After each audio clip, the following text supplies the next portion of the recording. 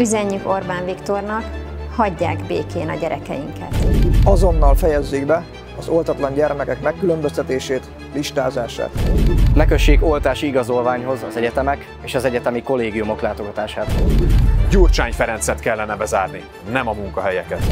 Elég a kormány zsarolásából, nem kérünk a kötelező oltásból. Az oltatlanok se legyenek másodrendű állampolgárok. Több forrás az egészségügybe, hozzák vissza az orvosainkat.